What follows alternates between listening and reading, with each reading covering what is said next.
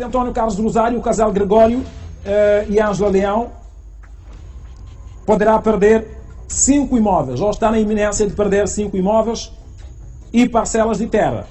Segundo o Ministério Público, o casal detém ativos em nome pessoal ou da sociedade Alaba Investments, sociedade anônima na qual o antigo diretor-geral do CISE é acionista. O Ministério Público diz ainda que há bens que foram registrados em nome do casal, como é o caso de parcelas de terra que estão registradas em nome de Ambrósio Orrubali, irmão de Gregório Leão.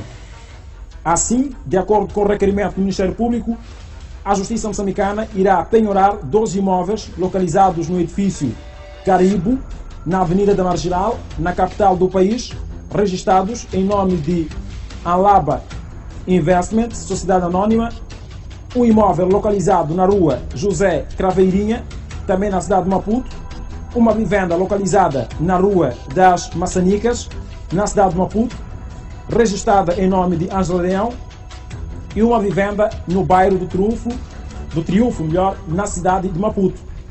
O Ministério Público pede também o arresto de uma parcela no condomínio Natureza Viva, no bairro Belo Horizonte, no município de Boane, província de Maputo, registrada em nome da Alaba Investments e Angi Alaué.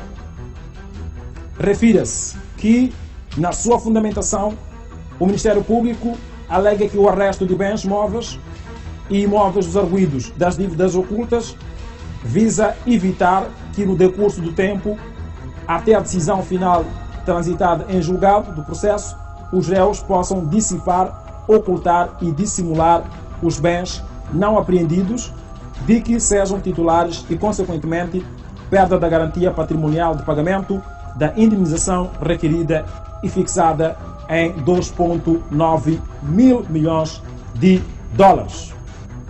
Muito bem. Muito bem. O Ministério Público avança que os imóveis que eventualmente serão perdidos pelos réus terão sido adquiridos pelo dinheiro do grupo Previnvest. Agora já temos aqui a imagem projetada no telão. Vamos ter que fazer o nosso intervalo dentro de instantes, mas aqui está o casal Leão, que poderá perder cinco imóveis. Depois do António Carlos Rosário, o casal aparece com o maior número de imóveis em risco de arresto. É, é risco de arresto.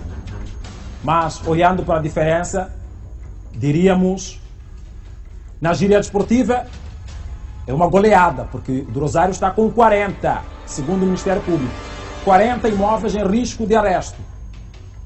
Gregório Leão, neste caso o casal Leão, 5 imóveis em risco de arresto.